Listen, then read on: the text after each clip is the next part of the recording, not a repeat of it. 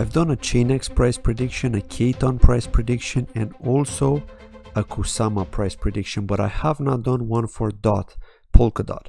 And the reason why I want to do it is because I really think it deserves this and I want to be realistic about this one because there's no point of having high hopes without having some kind of realistic expectations, right? If we have high hopes, sure, they could happen, but what if they don't? So we have to be realistic and let's kick this off with today's video uh, which is the Polkadot price prediction. And actually, if we look at the market cap of Polkadot here, we can see that it's 40.8 billion. And if you've been watching this channel, you know that I cannot really base this off any technical analysis or TA, simply because if we look at the Polkadot chart here, dot .USDT on Binance, we don't actually have anything to go by, right? It already touched a new all-time high just today right? It got to $48.36 here as you can see on Binance. Okay and there's nothing else we can go by right? We can assume that it could go lower and we'll know what kind of ranges it may hit because we've got support areas at different ranges right? But we can't really know how high it's going to get so we need to base our prediction based on something else. So how do we do that? Well we know that the Polkadot parachain auctions are going to happen this year. Okay so that's one thing which is very very bullish. And the second thing we need to understand is what is actually going to happen for Polkadot to be able to continue to increase in price. And one of the things that I want to talk about is the fact that we're going to have projects like Acala Network, Moonbeam. Okay, so we're going to have projects that are going to create DeFi products where you're going to be able to supply liquidity within the Polkadot ecosystem.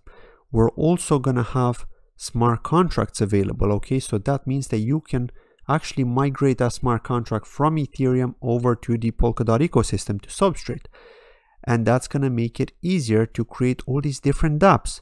So based on that alone and the fact that we've got, we're going to have defi we could expect the polkadot market cap to at least right and this is being the most pessimistic possible is at least go as high as Binance. As we've seen with Binance here, it's currently at 80.7 billion market cap. So that is quite a lot.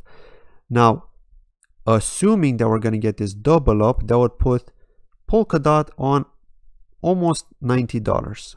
This video is sponsored by Mogul Productions. Mogul Productions is a platform that allows movie fans to engage with filmmakers and their favorite projects in deeper, more meaningful ways, from voting for films they want to watch to earning engagement points that are redeemable for prizes like one-of-a-kind film posters, speaking roles, red carpet tickets, and invitations to exclusive events.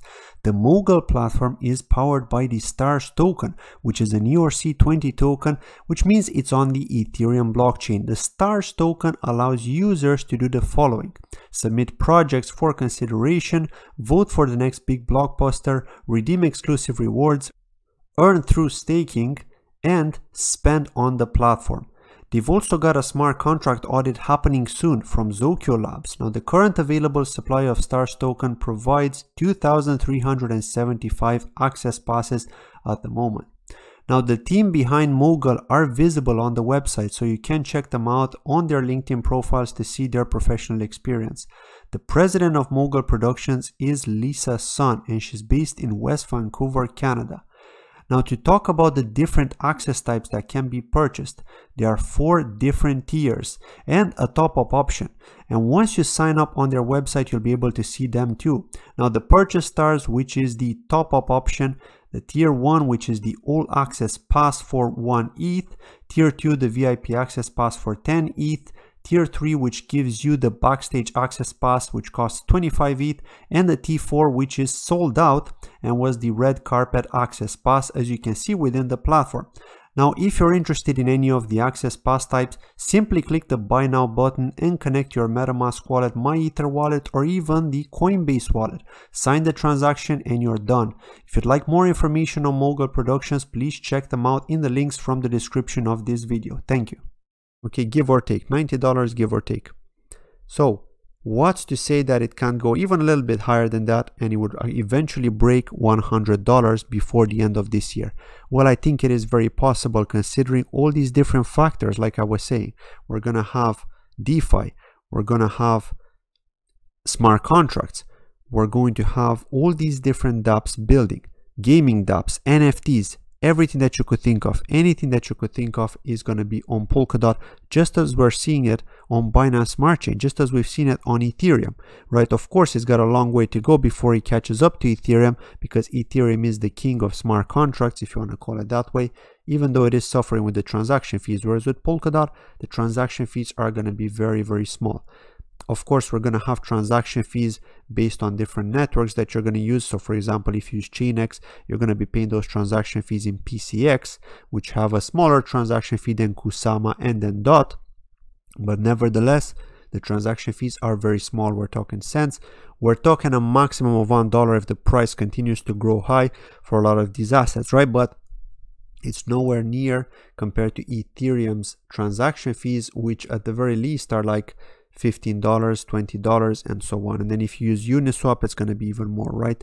So yeah, with uh, projects like PolkaSwap, we could expect those transaction fees to be much lower and you're going to have a lot of demand because as we see more and more projects building on the Polkadot ecosystem with Substrate, we're also going to see more demand in dApps like PolkaSwap being used or DEXs like PolkaSwap and also the ones that uh, have just recently launched such as Polkadex. Polkadex is still in testnet but it's recently launched a, a, token which you can trade at the moment, PDEX, uh, which is launched on KuCoin. I've spoken about that before.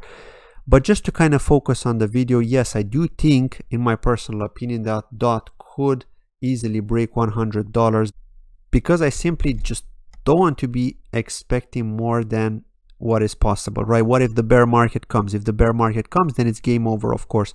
So hence why I'm thinking that $100 is a realistic situation here where we could see DOT knowing what's to come. Right, so that's it from today's price prediction. Let me know in the comments below what do you think? Where do you think DOT could get to before the end of this year? I'm curious to get your thoughts. Thank you for watching. Bye-bye.